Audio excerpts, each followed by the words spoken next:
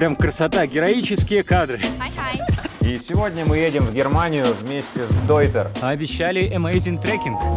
Там вот горнолыжный курорт. Вообще, конечно, неплохо этот король придумал. А вот мы около штаб-квартиры Дойтер. Ну что, как, удобно? В России очень любят такие рюкзаки. Это самая известная в мире пивнуха. А где же трекинг? Здесь не тропинки, а пешеходные хайвей с ливневками. И это, кстати, все бесплатно. И тут я понимаю, что я не в России. Виды тут, конечно, огненные. Ступенечки. We call it поджопник. Не очкуй. Путер съеден, птички накормлены, просека выпит, мы спускаемся вниз. Так, попробуем-ка буржуазную чернику. Наконец-то началось что-то интересненькое. Вот это я понимаю. Сервис. В гостях хорошо, а дома лучше. Но в гостях-то по-другому.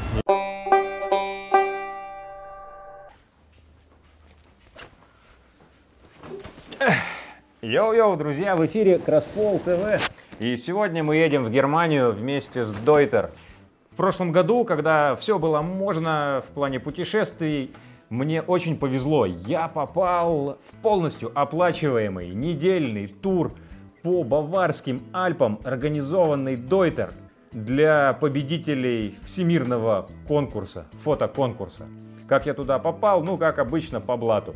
Потому что от каждой страны было по два места для победителей и еще по одному месту для Вообще это называется инфлюенсер официально, но я это называю продажный блогер. Пишут мне маркетологи из магазина Кант, который в России представляет Дойтер, и говорят, Евгений, нам нужна помощь. Нам нужен человек, который будет неделю тусить по Германии, пить пиво, есть сосиски, э, тусить по самым красивым местам и про все это рассказывать в камеру. Ну, я подумал и сказал, так и быть, ребята, я вам помогу. Почему я сейчас вот записываю все это в студии, а не на фоне Баварских гор? Потому что мне традиционно повезло. Я жестко отравился в аэропорту, но тогда это еще не было мейнстримом. Ем я, значит, свои роллы с лососем в шоколаднице в, это, в сочинском аэропорту, по-моему, так было. И думаю, да не, ну нормальное. Да не, ну что будет-то? Ну, в общем, если бы не всякие полисорбы и энтеросорбенты, я бы там вообще помер. А так э, я все это дело чередовал и выжил. Но очень много видео ушло в брак, поэтому такая вот преамбула. Это новое поколение рюкзаков Deuter Futura Pro на 36 литров. И, конечно же, у меня там кое-что припрятано. Если тут ханжи, то пиво безалкогольное.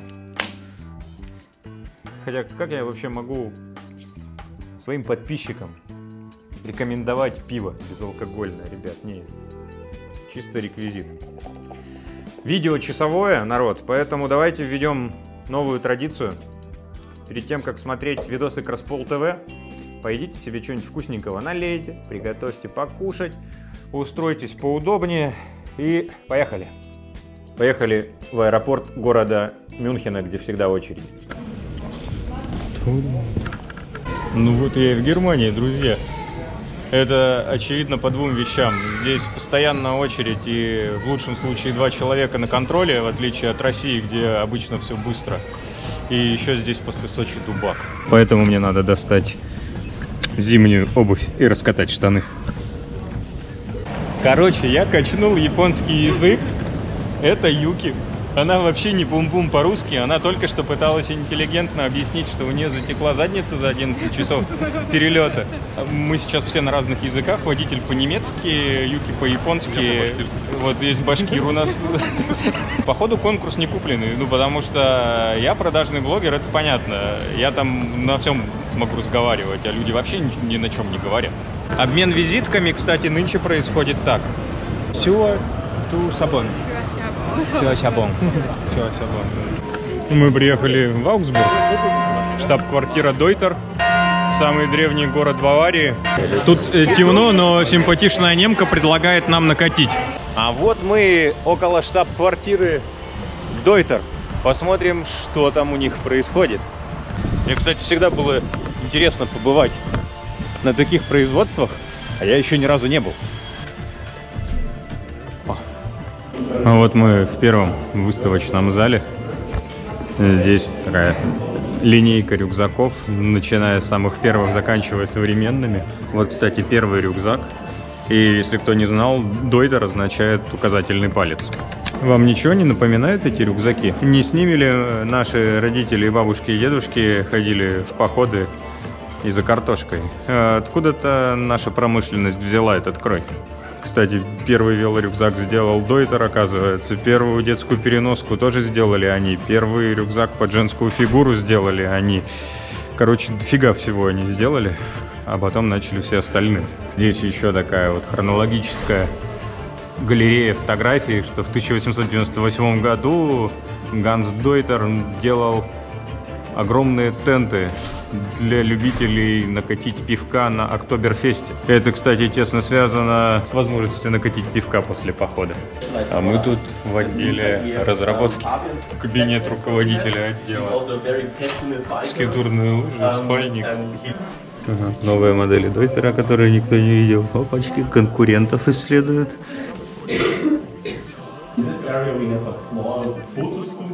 А это отдел с продукцией, которую Дойтер делает для других брендов. Например, для саммита Большой Семерки. Говорят, такой есть у, только у Обамы, Ангелы Меркель и у, и остальных. А это у них презентатошная.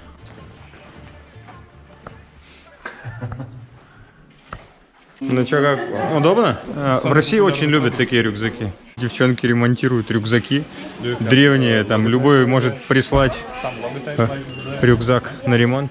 Is it free or is it for money?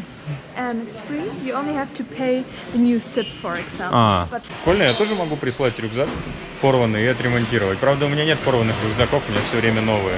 Они все чистые.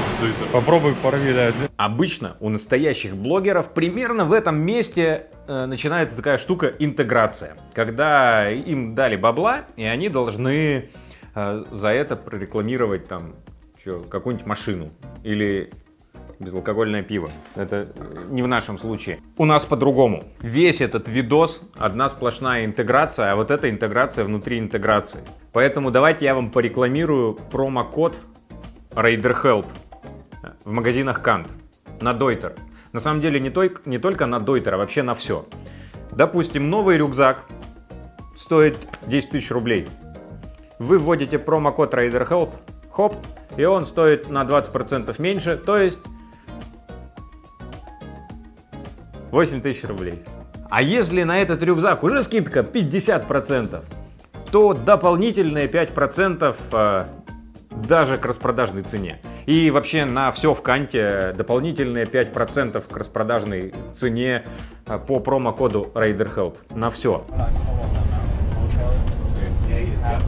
Какая красота! Это мы едем к отелю.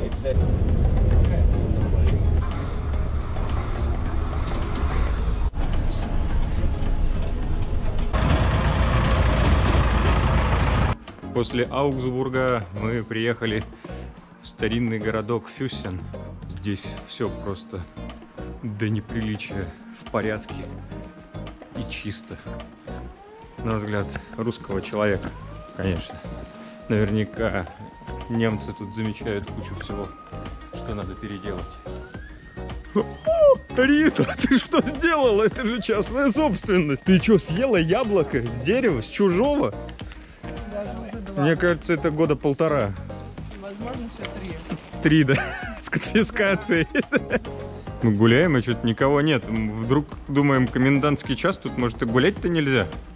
Рита, расскажи, как тебе цивилизованная Германия после Латинской Америки? Тут слишком все рафинировано, выглажено, чисто, уютно. И это же очень красиво, но очень не хватает живости и той самой открытости Латинской Америки. Поэтому Может, с кладбища уйдем тогда?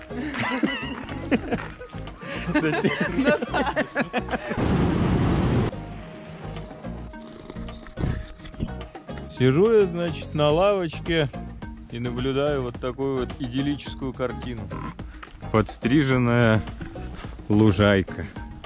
Привитые чипированные собаки в поводках и ошейниках. Такие же, наверное, люди. Непонятно, это коттеджи для туристов или обычные жилые дома. И нет людей нигде. А тут еще и озеро есть. Хорошо живут жители Фюссена. Даже синхронно разворачиваются. Везде порядок в этой стране. А где-то вот на той скале или вот на той как раз э, замок Нойшвайштайн, на который мы поедем завтра смотреть. Вон какие тыковки продаются, всякие разные. Оплачивать надо вот так, просто кладешь монетку. И все. И берешь все, что тебе надо.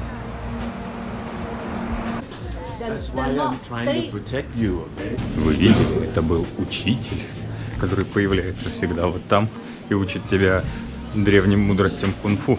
В общем, мы уже тут много про этот городок поговорили, что это шоу Трумана, что это синтетический город, что это вообще какой-то... Для Барби и Кена, да, что это машина для зарабатывания денег, и тут вообще все не настоящее. И оказалось, что так и есть. Итак, лайфхаки про замок Нойшвайштайн. Ехать надо не в сезон, осенью, то есть как мы, рано утром, то есть как мы, китайских туристов нет. Туда нельзя брать рюкзаки, и там вроде бы запрещено снимать фото и видео. Посмотрим. Вообще здесь все про Нойшвайштайн. Отель Нойшвайштайн с фотографиями замка Нойшвайштайн э, в ресепшене, в холле даже. Мозаика на полу такая же. В номерах замок Нойшвайштайн, в холодильнике номер э, отеля Нойшвайштайн, пиво Нойшвайштайн. В общем, Нойшвайштайн. В общем, сделано все, чтобы в конце поездки выговорить Нойшвайштайн. Супер туристическое место, что-то типа как на море. Первая линия отелей около замка, чтобы жители отелей успели первыми пилить одинаковые фотки. Снова Нойшвайштайн, вы не поверите. Минут э, 15-20 пешком через заасфальтированный лесок. И мы почти на месте. Um, Еще одна фототочка на озеро. Над озером воздушный шар. Выш... Вылизанные поля, высаженные леса, в правильном порядке построенные деревушки. Все как надо. Вообще, конечно, неплохо этот король придумал. Только ему не хватило немножко денег, миллионов э, и лет жизни, чтобы всем этим воспользоваться. Поэтому вместо него этим пользуются толпы туристов и муниципалитет Баварии. Между тем, если верить интернетам, 6,5 миллионов вроде бы евро приносит платный вход в этот замок ежегодно. Вообще можно не запариваться, чтобы все снимать самому и просто приобрести готовых фоточек. Зима, лето, осень, весна. 4,5 евро и все норм. Типичная картинка для замка. Китайские туристы на фоне замка. Возвышается коммерческая громада над кошельками приезжих. Мост над ущельем с видом на замок. Если вы хотите самую попсовую фотку замка, то это одна из них. Мы тоже запилим фото и видео, чтобы не отставать от миллионов людей. GoPro, сделай селфи. Мы вовремя успели. Количество туристов стремительно увеличивается.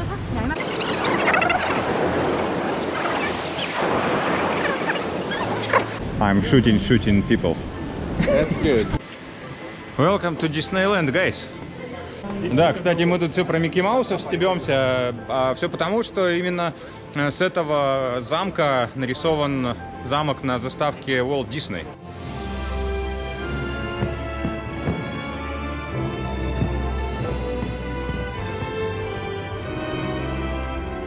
Наша очередь в 9.25. Э, Нам, можно сказать, повезло. Сейчас осень, рано, мало людей. А летом здесь такой же трешняк, примерно как в Колизее или в Эрмитаже. Поэтому лучше загуглить перед поездкой в этот замок, как там все делается, как покупаются билеты через интернет. И еще дополнительно бронируется место в очереди на экскурсию. Конечно же, мы ничего этого не делали, потому что за нас все сделали ребята из Дойтер. Прикольно отключать мозг. Ребят, вы отключили мозг? Уже давно. Снимать нельзя. Да, очень странный на самом деле запрет на съемку. Они объясняют, что все дело в вспышках. Но когда ты спрашиваешь про GoPro, они говорят, что нет, все равно нельзя. И дело вообще типа в копирайте. Ну, то есть, чтобы ты не сам снимал, а потом купил у них фоточку. Но все они реально забили на это болт. Все равно все снимают. 18,90 евро стоит эта корона. Монгольский принц.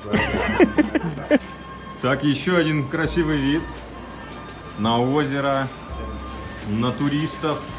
Ладно, не туристы на мосту, с которого мы только что фоткали. Они фоткают нас, мы фоткаем их, а потом мы поменяемся. Вот он, смысл туризма. Да, надо сказать, что все очень э, грамотно оборудовано для массового туризма, все сделано по уму, чтобы людям было комфортно оставлять деньги и тут, и там. Это немцы делать умеют. Везде продуманные смотровые, везде продуман трафик, э, откуда куда люди пойдут, где и как они потратят деньги и так далее. А мы тем временем посетили один замок и едем к другому. Уже пересекли границу Австрии незаметно для самих себя и Австрии. Классический альпийский пейзаж. Еще один замок. Замок на замке замком погоняет, да? Следующая крепость. Практически мы в Оренбурге. На самом деле это Эренберг. Тоже одна из э, древних и популярных экскурсионных крепостей э, известная своим мостом. А вон люди как раз идущие по этому мосту. Вот они.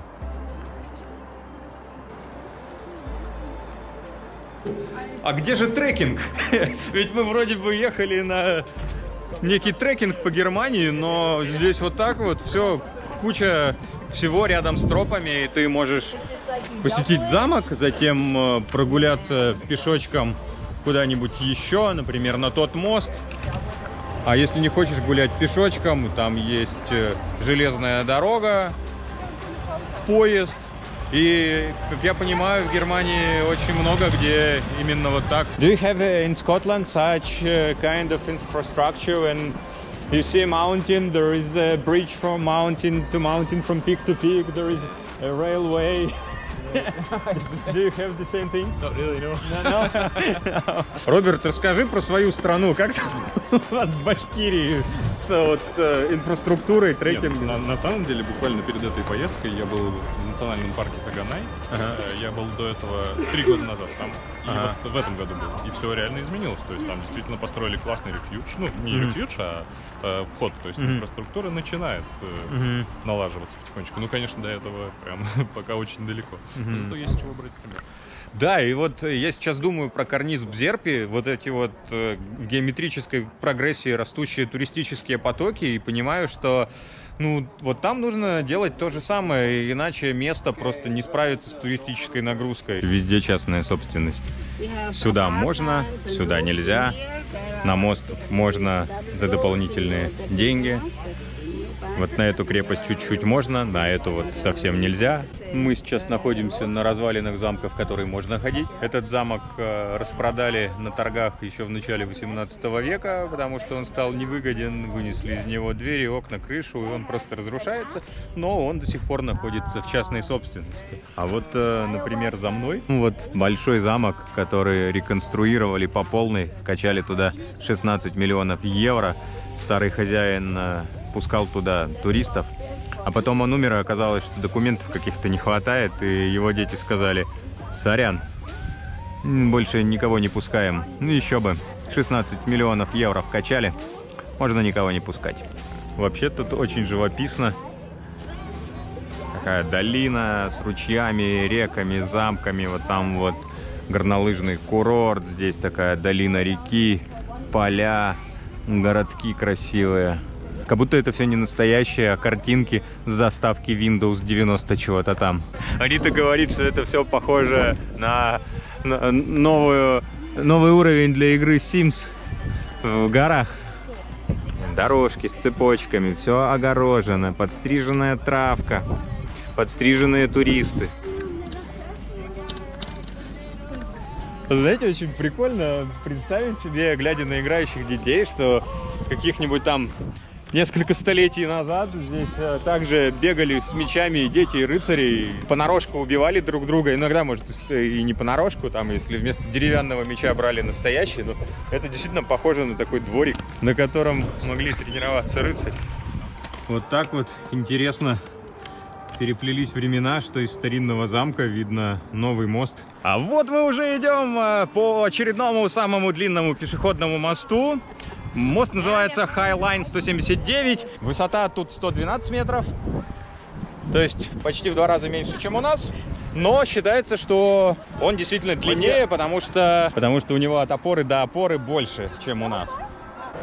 Но вообще по этому мосту идти чутка повеселее, чем у нас, потому что конструкция качается, шатается, когда ты по ней идешь. Люди идут, очкуют, прикольно. На таких штуках, очень надежных, э, прикольно наблюдать за собственными реакциями. Вот я сейчас э, смотрю вперед, я как бы глазами держусь за перила, и я совершенно спокойно иду, и мне не страшно. А сейчас э, я посмотрю вниз. О, а вот если вниз смотреть, я снова смотрю туда и снова иду вообще без проблем. Потом смотрю сюда, такой, ёптыть, и опять мне страшно. Я начинаю идти маленькими шагами, а потом опять смотрю сюда, и все нормально. Пока что все, что мы делаем, это где-то там по полчаса, там по часу что-то где-то ходим, смотрим какие-то достопримечательности и жрем, и пьем. Как говорит один мой знакомый, вот это туризм. А все остальное подходы. GoPro, хватит пить. GoPro, хватит пить, GoPro. Посмотрите, какая красотища. Въезжаем мы в Альпы, настоящие.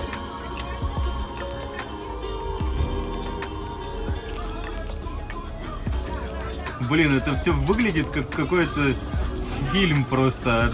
На самом деле мы тупо на автобусе едем каждый раз э, новые виды появляются.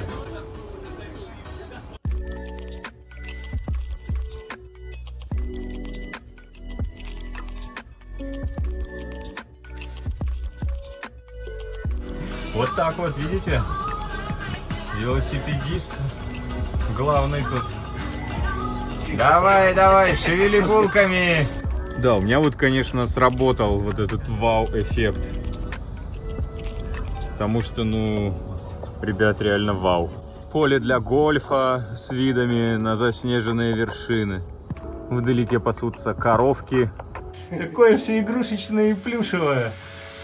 Карточные домики. Декорации. Шоу Труман. After being on two castle tours, this is exactly what I needed. Вот окрестные горы.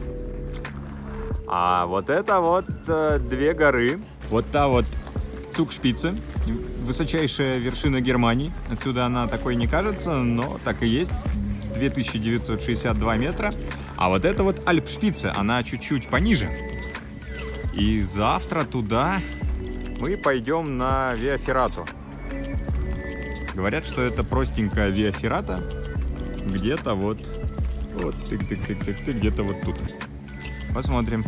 А знаете что? Судя по всему, вот это вот здание, это и есть э, та самая хижина, в которой мы должны были ночевать. Честно говоря, я себе хижину представлял несколько по-другому, ну, в русских реалиях, так сказать. Какие тут красивые курочки бегают, породистые. Похоже на чувака в папахе. Ну что, пацаны, как дела? How are you? What's up, man? Не, ребята, немецкий туризм это хорошо. Мне уже нравится. Апфельштрудель, э, двойной эспрессо, немного красного вина. У ребят вот... How you say it? Uh, Japanese. yeah. Kanpai. Kampai! Nasturubia. People all over the world think that we say it, but they are not. Японские девчонки сейчас юзают Google, чтобы написать что-то. What is it? Обычный такой ужин в горной хижине. Для меня это правда все в новинку. Я привык, что я в это время сейчас гречку варю, строгаю какую-нибудь там колбаску. Another problem. Uh, you don't understand uh, what to choose. Yeah, yeah, true. Soup. Soup. Yeah. Oh, you're still recording? Суровый немецкий трекинг. э, Цукшпице, э, седловина, альфшпице. Э, Расскажи, как тебе тяжело э, в Альпах. Честно, ужасно тяжело на самом деле. представляете, подходите с утра на завтрак, а там миллион колбас, миллион сыров, как из этого можно что-то одно выбрать, вообще не понимаю. Потом берешь все, наедаешься. Буквально через пару часов тебя приглашают уже на какой-то ланч там или еще что-то. Еще через пару часов опять приходится выбирать, что покушать на ужин. Не успел я договорить, как пришла официантка и спрашивает, а на главное это блюдо вы что будете, собственно? Нам еще еды принесли. И вот это оказалась сырная тарелка. У меня оказалось мясо с котлетой из хлеба, с котлетищей из хлеба. Это еда больше нее, по-моему. After the main dish, there's gonna be a dessert, and Evgeny's gonna eat all of it alone. Meiserschmarrn, Apfelmus. А чтобы вы понимали, мы вот с таким видом еще едим. Это у нас ужин вот с таким видом. Schauen, Do you understand? Uh, arigato shichiki means in Japan. Thank you, tuna. Короче, мы, значит, говорим а, аригатошечки по-русски, а по-японски это означает спасибо, тунец. Вот, кстати, весьма полезная штука на лестнице. Местные цветы, их очень много, и вот у нас как раз такого не хватает. Ну и, конечно же, нормальная карта района со всеми канатками. Туалет в хижине. Then the two of you are in room 20. 20. Вот это, короче, комната в хижине. Опа-на, спальнички подогнали нам. Так, у нас тут уже фотосессия началась. Where are you from? Рассвет на горе. Там курочки еще закрытые, солнышко встает и фотографы. He looks like a kung fu master from these movies about Shaolin. he's like,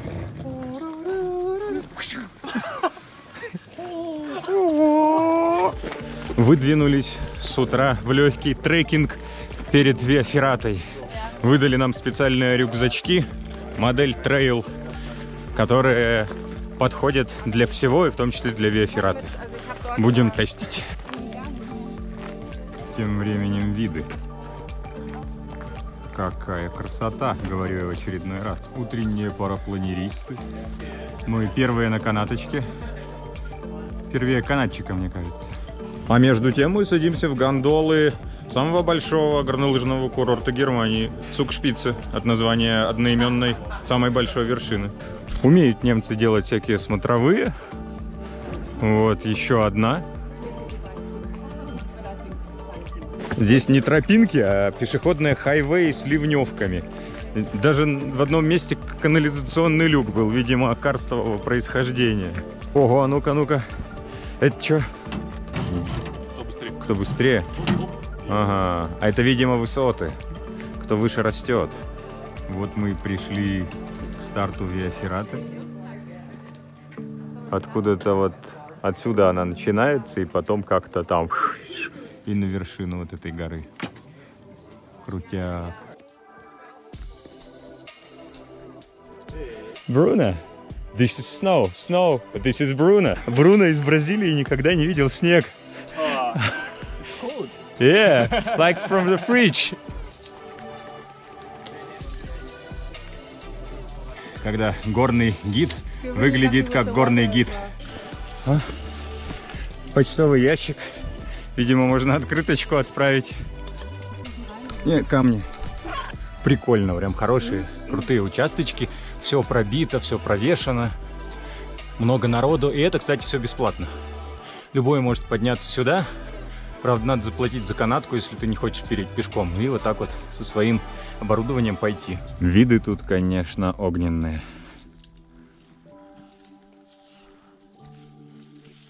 На все 360 градусов. Собственно, как и обещали, Виаферата действительно простая. По нашим российским меркам, это супер комфортная тропа для похода. Вот они, прорубленные ступенечки в скале. Все для вашего удобства. Видите, тут провешен трос. Широченная сама тропа. Э, честно говоря, вот мы идем и не понимаем, зачем здесь э, нужны все вот эти штуки. Ну, потому что просто мы привыкли по-другому. Но люди, которые не привыкли по-другому, они могут действительно безопасно, комфортно и без страха тусить вот по таким красотам. Вот в Абхазию я бы, например, там своих кого-то не взял, потому что там далеко, долго и вдруг что. А тут, пожалуйста, все рядом. Очень круто. Рюкзак э, оказался удобный, кстати. Вот эти вот штуки, карабинчики. Раз. Так вот, снял. Оп. Опять снял. Захотел налево, захотел направо. И пошел. Короче, мы тут по привычке все по цепухе поперли. Ну, как обычно. А оказалось, рядом он трос протянут. Да, вот э, за гидом идти, конечно, вообще легко и не страшно. Но, собственно, для этого гиды и нужны. Возможность отключить голову наполовину – это и есть гид. Мы вот как раз разговариваем о том, что если бы мы сюда сами пошли, ну, как обычные туристы, это было бы, во-первых, интересней, потому что не знаешь, куда идти, не за кем идти, было бы пострашнее, ну, видимо, было бы больше эмоций, но зато так безопасней. Без провешенных перил и забитых ступенек это был бы вполне себе приличный маршрут для скалолазов. А так оно доступно для всех. Да, в этом есть и плюсы, и минусы. Когда это доступно для всех, этих всех много, они тут все. Когда это недоступно, меньше людей. В России, мне кажется, это однозначный плюс, когда таких штук нет, потому что меньше мусора у нас еще не привыкли положительно обращаться с природой. Это факт. А зимой это, кстати, тоже популярный маршрут. Народ берет лыжи, залезает сюда по Виаферате, по северному склону, и затем уже по южному склону куда-то там спускается на лыжах. Рит, ну чё, как тебе маршрутик? Мне прекрасно, мне он очень нравится. Достаточно легкий, но при этом интересный. Сложнее участок, поэтому мы решили пристегнуться. Ну, я решила пристегнуться в обе штуки эти, я не знаю, как называется. Я вчера спросил, а где усы? Where is mustache? Наш гид спросила, чё? Я говорю, ну вот у нас это почему-то усы называются, вот эти вот штуки. Она такая, а-ха-ха. Тут уже такие посложнее места пошли. Уже прям действительно обязательно встегиваться. И ледок имеется, все как надо. А зимой вообще, наверное, тут все в снегу. Этих штук нету, только трос. Ух, дубачок. Прям красота, героические кадры. Думаю, даже надо куртец надеть, а не рубашку, да? Прямо суровый участок. О, ползут наши. Если покорил Альпшпице, можно скушать жирный шницель. Вот мы отсюда пришли. Сейчас ползем вот туда наверх, на вершину. А есть еще вариант по хребту вот так тык-дык-дык-дык-дык ползти до Цукшпицы по скалам. Говорят, что это занимает 9 часов, если ты в отличной физической форме. И тут мы увидели крест и поняли, что вершина рядом. Сейчас там госпел хор, да? Этот? Но у меня другой вопрос. Есть ли тут бар наверху? У меня есть бар с собой. О, все, на самую вершину ты должна зайти сама. Кстати, это наши прекрасные гиды. Oh, hello. Hi, hi. Так, все, туда сфоткал, теперь на меня фоткай. А между тем я ем колбаску вот с таким видом. Every Russian tourist have that thing. We call it поджопник. Uh, it's uh, like uh, under Esther. Uh, uh,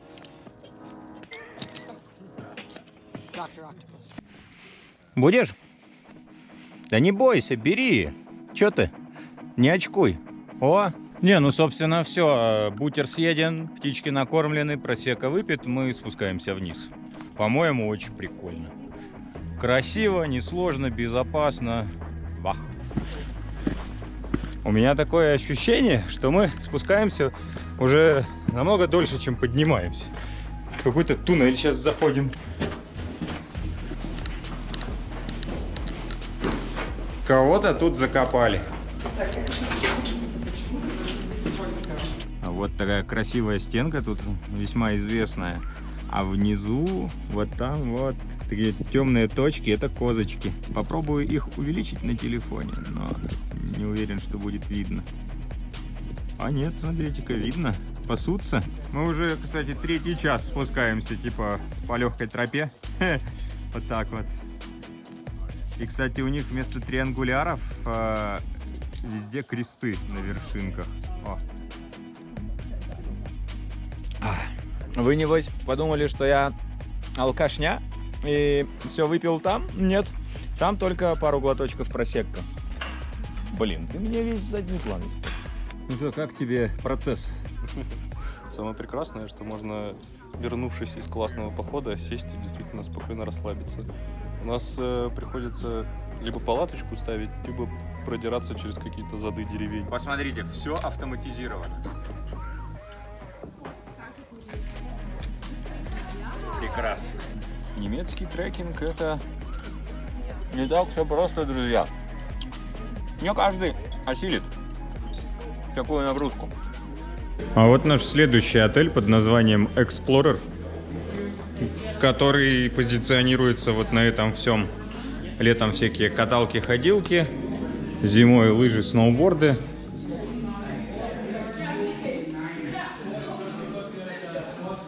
А вот тут вот большая карта района. Мы, кстати, завтра тоже на выбор либо на электровеликах вот сюда вот попить пивка и обратно в отель, либо трекинг двумя разными способами, там вот до того озера Фунтензея. Поехали на кораблике покатаемся. Поехали покатаемся. Экскурсии по рекам и озерам Германии на кораблике. А если повезет, мы встретим красавцев Черного моря дельфинов. Главное, чтобы не других э, красавцев Черного моря. Везде вот такие красивые лодочки, у них целый флот одинаковых. Никаких тебе говномаранов вот этих непонятных, никаких дурацких катеров, никаких гидроциклов. Все красиво, все унифицировано, все подходит к стилю этого озера. Вот это называется порядок в голове. Шашлычек, конечно же, тоже нет, есть только традиционные рестики.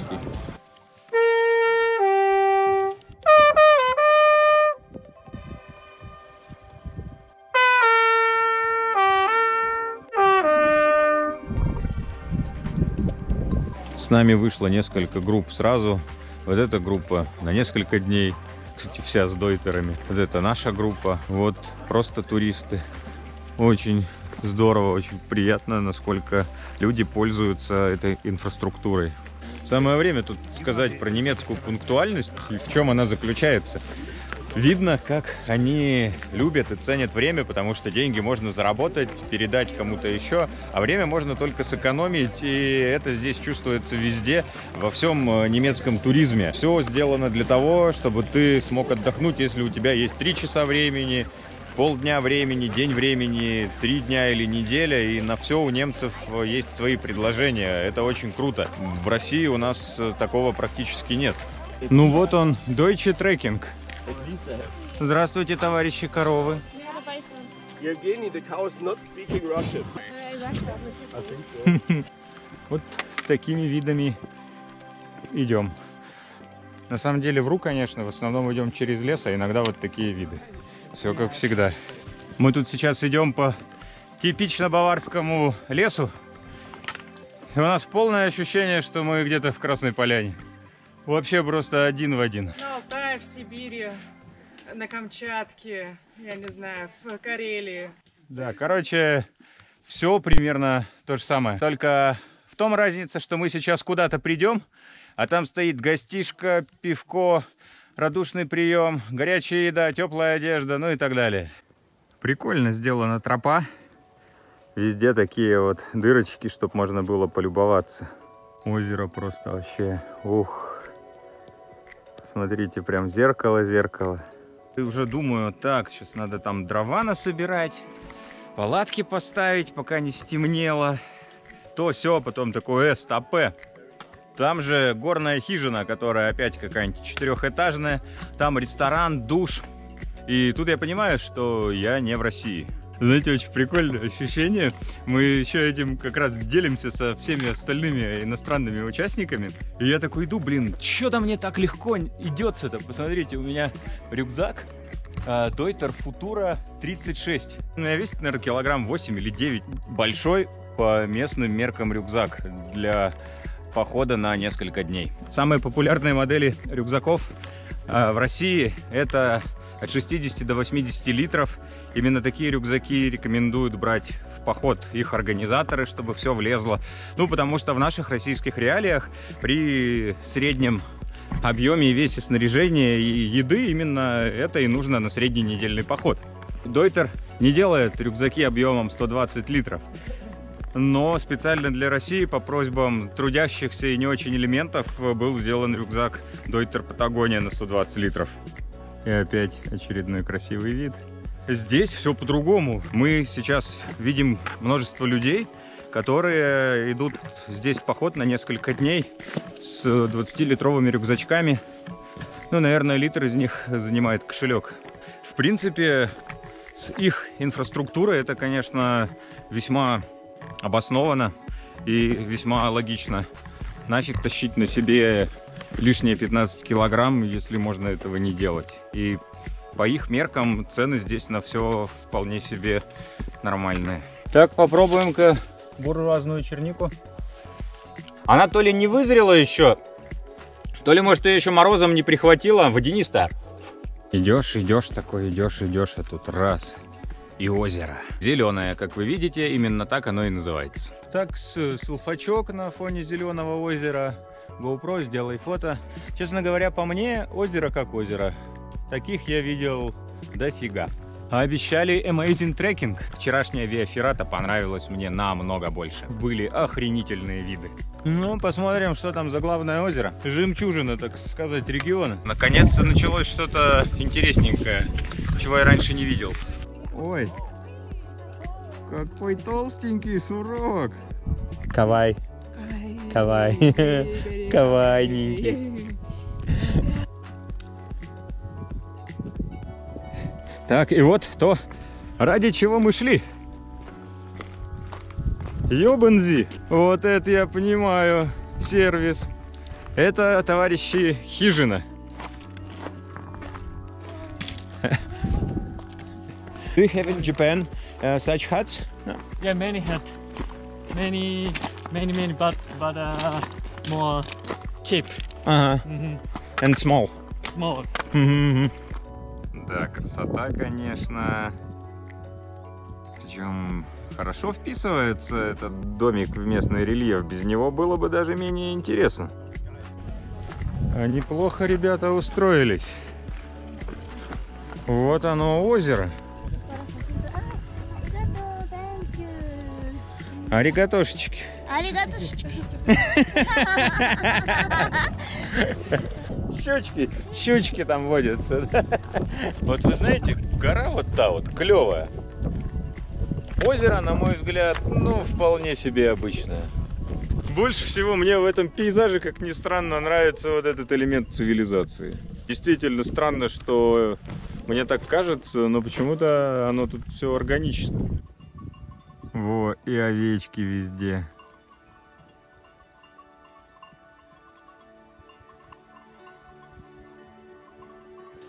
Ну, собственно, на фото это выглядит немного лучше, чем вживую. Зато вживую неплохо выглядят вот эти вот самогоноварительные домики.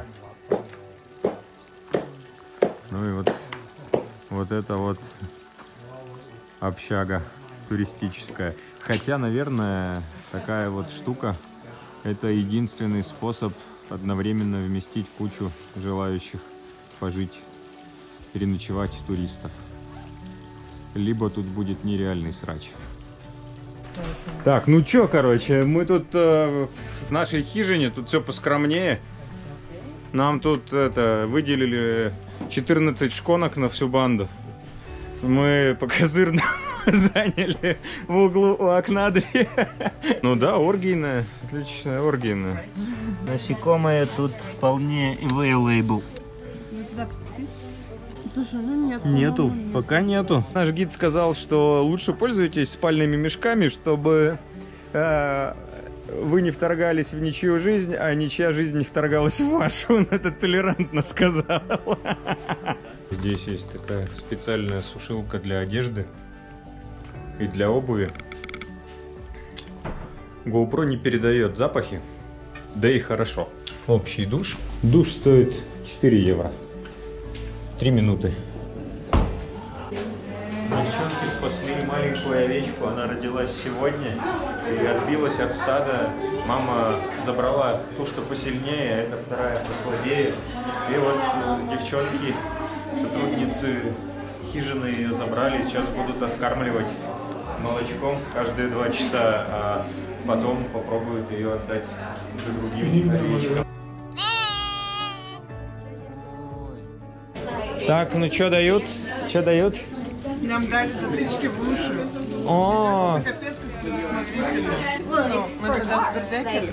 что даст? Бердекель. А, так. Christian, how about Бердекель? How? This is the beer deckel. Don't lose it because um, losing overview is something very complicated. You're not a loser. Это какой-то настой на местных шишках, но пахнет он как клей для самолетиков. Да ладно, ну девочки. На здоровье! Идем обратно. Утренний туман, очень красиво. Банда фотографов залипла.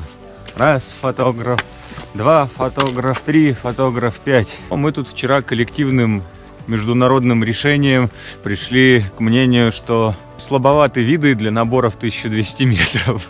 Вчера на Виаферате было явно круче с точки зрения видов и вообще. Вторая группа ходила трекинг на Цукшпице и тоже говорят, что да, вот вчера было ого-го. Утренний свет работает на фотографов. А обратный маршрут-то вообще хорош. Ущелье офигенное. Серны бегают. Да, виды-то крутанские начались. Зря мы вчера ругались. Просто не та тропа была. А тут идем, красота, скалы. Вон, коза дружелюбная вполне. Я тут расспрашиваю немецких э, ребят, в чем разница между хайкингом, трекингом и бэкпекингом. Эм, В общем, хайкинг это что-то легонькое, вот типа мы идем в хайкинг, у нас небольшие рюкзачки, мы налегке идем до хижины, там что-нибудь едим, пьем и так далее. Трекинг это что-то более серьезное, когда ты уже прешь с собой э, палатку, спальники, там, еду, горелку и так далее, и ты это все тащишь на себе. Ну, поэтому, например, трекинговая обувь уже более мощная, потому что у тебя больше вес за плечами. А бэкпекинг это вообще может быть все что угодно. Например, ты просто по Европе шаришься автостопом. Вот это может быть бэкпекинг. Ну а дальше там уже mountaineering, это mountaineering, это уже что-то типа альпинизма, это повыше, посерьезней и требует больших э, технических навыков. О, у нас тут очередная идиллическая картина. Погода как под заказ, не жарко и не холодно. Hello. Солнышко светит, насекомых нет, тропы прекрасные. Мы сейчас спускаемся от нашей хижины к пристани, где нас заберет лодка. Это уже другая пристань, и ты в любом месте можешь выйти, а потом в другом месте зайти. И вот у нас одна из девочек подвернула ногу, она идет сама, вроде бы все хорошо, но в случае вдруг что, здесь не страшно. Это очень важно для тех, кто не хочет лишних приключений. В Германии есть э, единый горный клуб, э, членство в котором дает тебе всякие полезные плюшки, типа включенной страховки, скидки на еду и проживание в хижинах, приоритет при бронировании мест, потому что если ты не член клуба, в некоторых хижинах, о, pardon, в некоторых хижинах э, тебя могут не принять. Вертолетная эвакуация, про которую все так любят говорить в России, здесь действительно есть, и она включена э, в членство клуба. А посмотрите, какая красота! У меня за спиной олдскульные лодочки бороздят просторы горного озера. Я мочу ножки в тепленькой, кстати, относительно воде. Вокруг шикарнейшие горные пейзажи. Мы довольные, сытые от одной хижины к другой, от одного пивка к следующему. Вокруг озера просто офигенные места для прогулок. Можно бегать, можно ходить, можно с детьми и собаками. Картинка, конечно, огонь внизу. Просто бомбическая. А вот мы уже подходим к нашей станции. Все очень кавайненько. Лодочка отплывает от пристани. Церковь старинная. Домики няшные. Все такое просто вот горы прямо резко начинаются. Ползут вверх. Такой вот пейзажик. Вах. 360 сделано.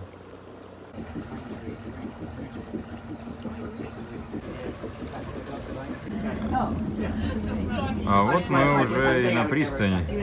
Бобслейная трасса на фоне горы. Пристань и ресторанчики. Ресторанчики нас ждут. Знаете, что показательно? А, Все вот эти вот туристы, ну и мы в том числе, выглядят очень гармонично среди нетуристов. И здесь я не чувствую большой разницы между туристами и обычными людьми. Там в России ты идешь с рюкзаком, ой, а куда вы ходили, а медведей видели, а не страшно, ой, да это же далеко. А здесь это обычно. Туризм – это каждодневное дело, как я понимаю. В общем, мы погоняли и туда, и туда. Я пошел в двухдневный трекинг, а Роберт пошел кататься на великах. Мое резюме. Э, Лучше бы я пошел кататься на великах, потому что можно было покататься в один день, а в другой день однодневочку сходить. Э, Переночевал я в горной хижине. В принципе, это было лучше. В предыдущей хижине нас клопы покусали, а в этой их не было.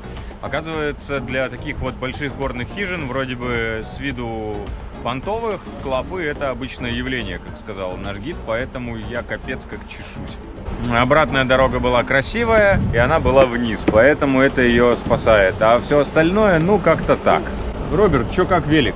Ну, вообще нам сказали, что будет активный день, мы будем кататься на велике, все будет активный тур. Но, во-первых, велик был электрический, даже маунтинбайк и тот электрический. Во-вторых, мы заехали наверх, нам сразу же налили пиво и выдали сосисок.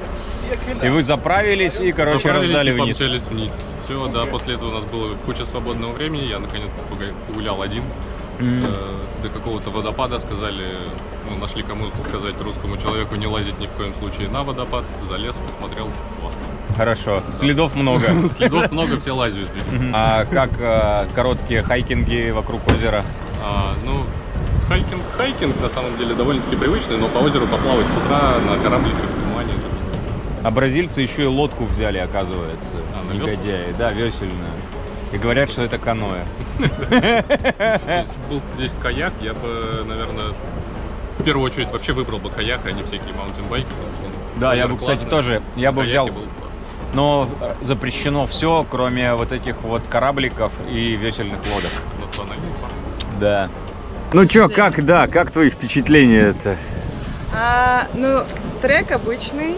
То Мгм. есть мы не увидели чего-то супер нереального. То есть обычные, ну, красивые виды, да, но не серии вау. А я тоже пожалела, что не поехала на электробайке. И да, Женя постоянно говорит, ну я же говорил. Вот. Но тем не менее, мы славно провели время, и особенно вчера вечер, потому что мы слегка напились. На, просекка еще бухни. Ваше здоровье. А вот мы в Олимпийском парке Мюнхена, и у нас прощальный ужин э, в этой башне, где я давно мечтал потусить в Мюнхенской телебашне в Олимпийском парке. Высота башни 181 метр, судя по названию рестика. Не знаю, на какой высоте мы, но тоже неплохо. Ночная панорама Мюнхена, музей БМВ и полная луна. Ребят, тут движется стена, накрутится и потолок. Мы еще не пили, а мир уже сдвинулся. Чтобы сходить в туалет, надо просто подождать, пока он до тебя доедет. Очень удобно. Ты пил что-нибудь? Да. Точно пил. Смотрите, что происходит. Я стою, но иду. Ханзи? Акробат. У нас тут э, уругвайская говядина с муссом из сладкой картошки, соусом, каким-то там модным еще какой-то хренью. Why we listen to this nice music? В общем, под э, гимн э, геев на немецком у нас экскурсия на велосипедах по городу. Да, это, конечно, очень круто, что в таком огромном промышленном городе, как Мюнхен, такой огромный парк. Это десятки квадратных километров, если я правильно понял нашего гида. И для русского человека, опять же, удивительно, что в центре крупнейшего промышленного региона еще не все застроено коммерческой недвижимостью. А все потому, что наличие таких мест увеличивает стоимость существующей недвижимости. И это очевидно, но не всем.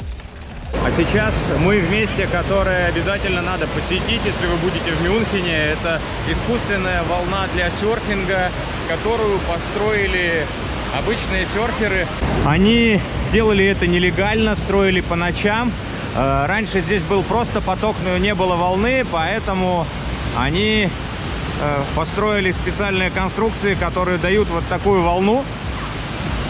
Им нужно было электричество, они его брали из ближайших домов, переодевались э, в одежду официальных дорожных рабочих, перекрывали на 5 минут движение с умным видом, чтобы протянуть провода.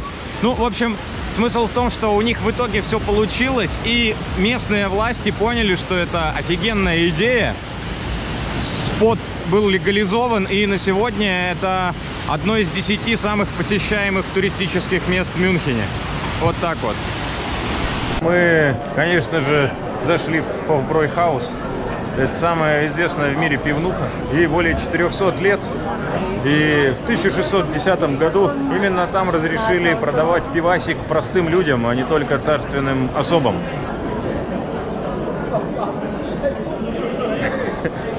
Именно там сочинял статьи для газеты «Искра» Владимир Ильич Ленин. Именно тут, кстати, было первое собрание рабочей партии Германии в 1920 году. Собралось 2000 человек, все подбухнули. И, видимо, на этой волне они подкинулись на пламенные речи Гитлера. И понеслось. Так что место неоднозначное. Ну что, вот она обязательная кружечка. Литровая, литровая. Ханси говорит, что есть соревнования, кто дольше продержит. Еще надо обязательно сказать? Э, Я спрашиваю у Рикарды, вот, ну, у наших ребят э, из Дойтера, которые организовывали мероприятие. А вы, типа, часто такое делаете? Они такие, да нет, мы, говорит, такое мероприятие делаем в первый раз. Так вот, по русским меркам они сделали все лучше, чем обычно делают э, наши профессионалы ивент-бизнеса. На это очень забавно смотреть, когда чуваки, которые не занимались э, ни разу ивентами, такие, оба, и у них вообще просто все идеально. Мне вообще не к чему придраться. Сначала я пытался что-то най- найти, какие-то косяки, но нифига. Такой думаю, ага, они сделали группу в WhatsApp. А потом оказывается, что они хотели, но в Азии нет WhatsApp, они пользуются другими мессенджерами, и они это- этот вариант продумали, но он не подошел. И я такой, только я хотел спросить, а во сколько нам завтра улетать? Подходит Рикардо и такая говорит, вот вам на завтра план электричек в аэропорт. Вот это, говорит, билет в аэропорт. Вот это, говорит, вы сейчас пойдете гулять. А, Это вам план метро. А, Вот вам еще один билет на метро на три дня, а, который нам дали вчера. Он работает. Короче, я, если честно, в таком позитивном афиге от того, как у немцев все организовано. Это... Вообще так нельзя, конечно. Выпьем за это. Выпьем за это, да.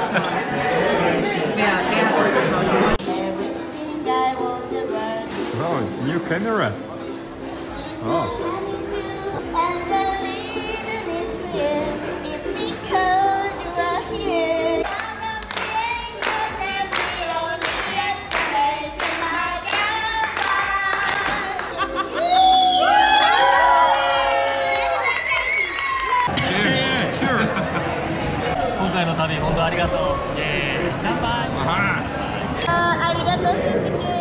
Sana makapunta rin kayo. Salamat sa Doiter.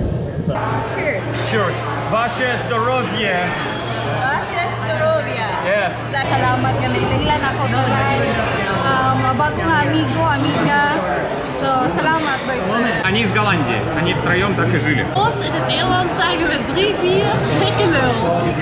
Вот. Мы их, короче, белками звали, но они не знают, что я сейчас говорю. Поэтому, ну, товарищи белки, давайте за бело. Давайте за бело. Servus, hallo zusammen. Deut My Deuter Adventure geht soeben zu Ende. Wir hatten eine wahnsinnige Woche, tolles Wetter. Nós do Brasil mandamos um abraço para vocês na Rússia. Acredito que vocês não vão entender nada. Bem esquisito. Это было что-то очень смешное. А, Аэша очень прекрасно подвела к тому, что я хотел сказать. Друзья, учите иностранные языки. Когда я был маленький, я был советским ребенком, и я не понимал, нафига мне все это надо. Я только в книжках читал про путешествия. Учите сначала английский, потом испанский, а потом португальский, да, потом, наверное. Только в этом путешествии 7 разных стран, 8 разных языков, столько сортов пива. Дойтер действительно международный бренд. Учите языки. Ну что, друзья, уже традиционно заканчиваю очередной видос на фоне Олимпийских колец в Сочинском аэропорту. Резюмируя поездку, хочется сказать, в гостях хорошо, а дома лучше. Конечно же, это так, но в гостях-то по-другому. Именно поэтому надо везде ездить, чтобы иметь возможность сравнить. К примеру, в Германии нет диких животных, там вообще не страшно, очень сложно заблудиться, в общем, никаких опасностей. А тут у нас э, обсуждение следующего похода, и мы думаем, идти осенью на Чешхо, потому что там медведи, или не идти. Поэтому самое крутое, что у нас есть выбор. Можно туда, можно сюда, а потом сюда, а потом еще вот туда. Вот-вот э, момент был, да? Мы сейчас можем выбирать, куда хотим, едем в ту страну, едем в эту. Так было всего год назад, в 2019 -м. Никто даже подумать не мог, что приключится такая вселенская задница в виде коронавируса, и все откроют для себя прелести внутренних туризмов. А внутренние туризмы в тех странах, из которых был народ, охренительные. Чуваки из разных стран, ну мы все друг другу там за столом сидели, показывали фотки крутых мест, где мы были, там в инстаграмах друг на друга переподписались. Блин, в Штатах столько офигенных мест, в Бразилии дофига. Пошариться по полям Шотландии, там в гости к Грегу поехать, или по полям Голландии. Ну, как бы по полям Голландии не очень звучит, но тюльпаны, в общем. Или там Япония. В Японию вообще у нас все хотят. Про Филиппины я вообще ничего не знал до этого момента. Знал, что это где-то ниже Японии и чуть-чуть правее Индии, и там джунгли. Там реально очень крутые места. И ну вот так вот про всех. Так э, я посмотрел фотки у Маргариты с Робертом, где там они по России у себя за Уралом шарятся. Так, а Башкирия это за Уралом или перед? Да. эм. Так, задача на сегодня узнать, где находится Башкирия. Э, Вам тоже. Нам очень повезло, что мы живем в огромной стране, в которой дофига крутых мест. Да, у нас проблемы с инфраструктурой на большей части территории, но когда ты скитурщик, походник и так далее, отсутствие инфраструктуры не только минус, но и дополнительные возможности и рекомендуемая нынче социальная дистанция в полтора километра. Хороший рюкзак позволит эту дистанцию комфортно увеличить. Так вот, друзья, давайте выпьем за внутренний туризм и куда-нибудь подальше. Как там? Cheers, Кампай, Скёль, на здоровье и так далее. Это было Краспол ТВ. Увидимся в горах.